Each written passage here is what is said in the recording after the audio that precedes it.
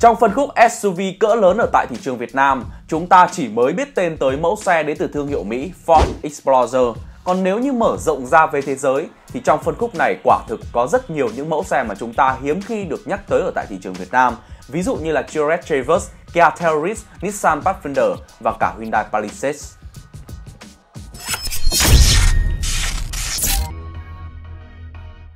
Ra mắt lần đầu tiên vào năm 2018 tại triển lãm Los Angeles Auto Show, chiếc xe Hyundai Palisade không chỉ làm xôn xao giới phân tích và cánh báo chí trong cả một quãng thời gian dài kể từ khi ra mắt, mà nó còn thay đổi định kiến về xe Hàn, giúp cho tên tuổi của Hyundai được nâng cao vị thế so với những hãng xe đối thủ có tên tuổi lớn ở tại sân nhà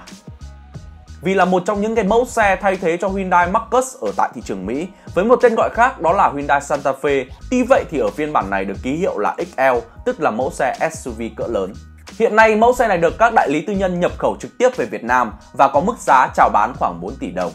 Sự đồng nhất và mang ảnh hưởng trong phong cách thiết kế của Santa Fe đó là những gì mà chúng ta thấy được trên Hyundai Palisade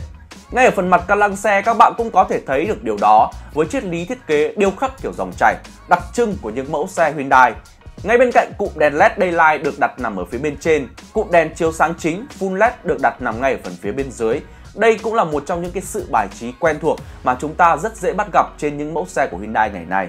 Còn lại những điểm mà tôi cho rằng nổi bật nằm ở phần phía bên ngoài ngoại thất như là răng 20 inch hợp kim nhôm với thiết kế táo bạo và cầu kỳ, Phần đuôi xe sở hữu cụm đèn hậu LED được thiết kế chia khoang và cá nhân tôi cho rằng có nhiều nét tương đồng với cụm đèn hậu của mẫu xe SUV siêu sang Rolls Royce Cullinan. Tất cả điều đó tạo nên một tổng thể hài hòa và không quá phô trương. Vì là một trong những mẫu xe SUV cỡ lớn, bởi lẽ vậy nên Hyundai Palisade có một kích thước tổng thể rất to lớn, chiều dài lên tới 4.981mm, chiều rộng là 1.976mm và chiều cao là 1.750mm, chiều dài trục cơ sở lên tới 2.900mm.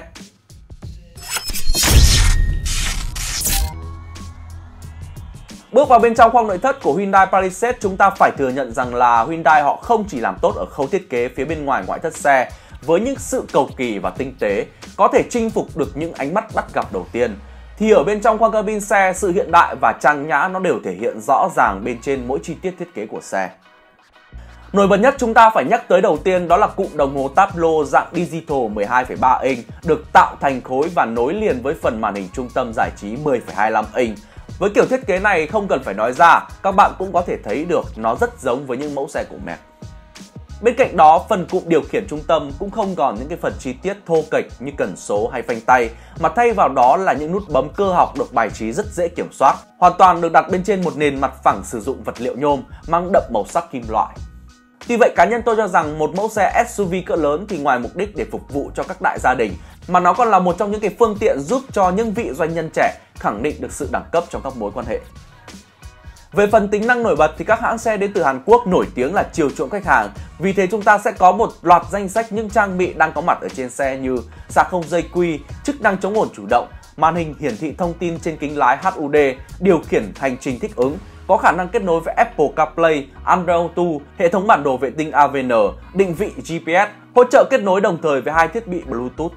Hyundai Palisade 2020 có nhiều trang bị an toàn và hiện đại bao gồm tính năng cảnh báo va chạm phía trước, phanh khẩn cấp tự động với khả năng phát hiện người đi bộ qua đường, hệ thống trợ lực lái sử dụng radar phát hiện phương tiện phía sau, giữ cửa đóng mở an toàn. Các tính năng trợ lực lái tiêu chuẩn khác bao gồm hệ thống kiểm soát hành trình chủ động với khả năng tắt mở động cơ và đèn pha tự động, hệ thống báo động khách hàng phía sau, ngăn không cho trẻ em hoặc thú cưng rời xe đột ngột.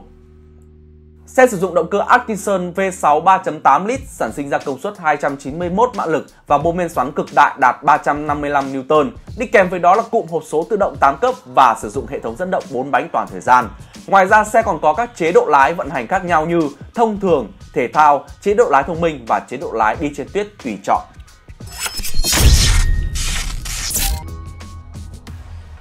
Vừa rồi là những chia sẻ nhanh về chiếc xe Hyundai Palisade của Auto Việt Nam. Các bạn nghĩ sao về chiếc xe này? Hãy để lại bình luận của mình ở phía bên dưới nha. Xin được cảm ơn đã tham gia theo dõi. Xin chào và hẹn gặp lại những video clip tiếp theo.